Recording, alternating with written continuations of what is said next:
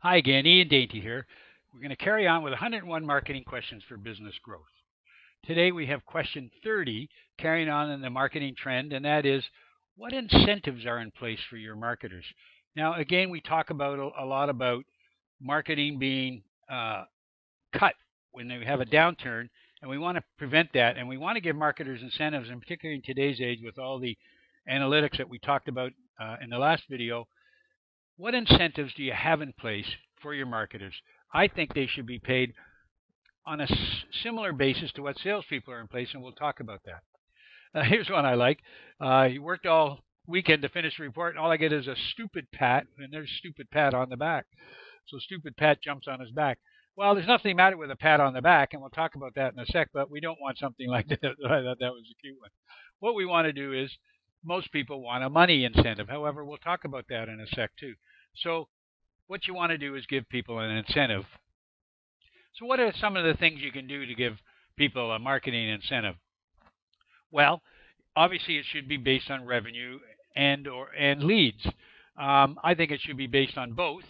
You may want to give them a little bit more incentive for leads and revenue because they can't market or marketers don't usually close sales. Salespeople do, but you still want to uh, measure them on revenue because it's the uh, salespeople must work together with the marketers, and so you want to give them some incentive on that. But obviously, this is just an example about you know what they're graded on and uh, and how well their department's going to succeed.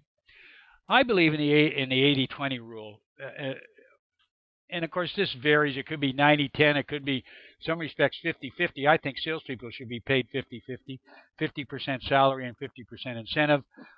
Uh, but because marketers don't close the deals, uh, and and this is all new, I think 80-20 rule. So 80% salary and 20% incentive or commission or however you want to look at it, I think is a good rule. So that they are actually working towards helping the company succeed, which is getting more revenue.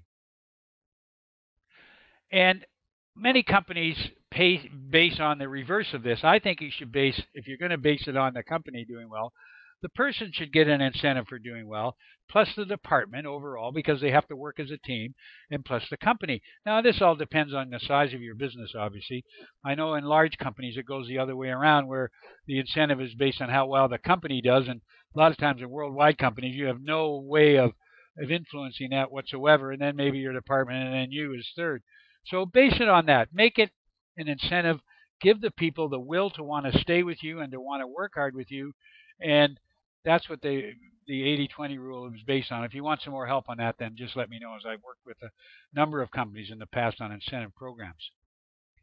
Also, the the 80 part, which is the salary, there should be some incentives based in that too, in the sense that I always did that when I had employees, is you have to learn certain things to help our business out over the years, which will in, in turn help you. Now, as an example, in marketing these days, social media is changing like crazy.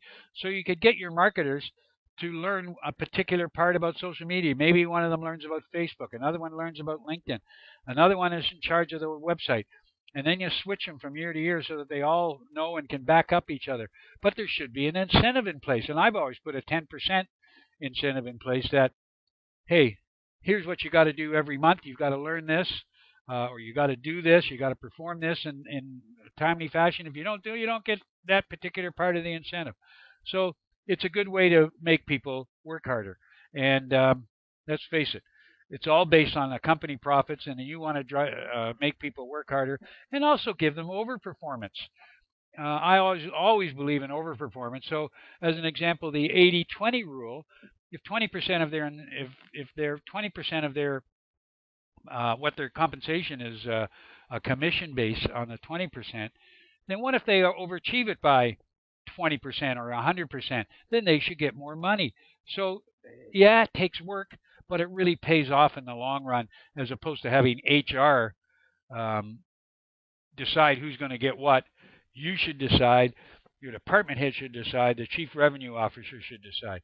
So give people incentives for improving themselves that's part of the uh, 80%, the salary part. Okay, that's always worked. It's worked for me. If you want some more information on that, please let me know. And this is always good. An attaboy, as we used to call it, or an attagirl. Um, and what it says is every like every month at the uh, at the longest, preferably every week or every two weeks, but every month at the longest, you should have a group meeting and give people a pat on the back.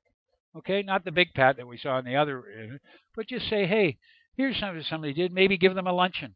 Um, this is where they went above and beyond the call of duty, as the army would call it, and give them a pat on the back in public. Remember the old saying, praise in public, criticize in private. So anytime you have something to say to somebody that's a praise, get the group together and say, hey, this guy or this woman did this, and we want to just let everybody know how it helped us as a team, as a company, etc. Okay? Or they gave a suggestion or whatever it was. But attaboys and attagirls are a terrific way. People love them. And they're a lot less expensive, obviously, than the other way, but they also like the incentives, too. Just don't give people money at Christmas for the sake of giving them money. Let them earn it. Let them know why they earned it. And if they don't earn it, they don't get it. It's pretty simple. Okay. And again, my favorite uh, one, and that'll give you success and that great uh, determination that you want in your business. Fist pump, we're ready to go. Let's compete against those guys and beat them. Yeah, I love this picture. Okay, for any questions, be uh, sure to contact me or email me or call me from the number below and uh, let me know. And please send in any questions you have, and uh, we will answer them for you. I hope this is uh, helpful to you. Please like this so other people can see it and comment on it. Uh, I appreciate those too. Thanks a lot. Till next time.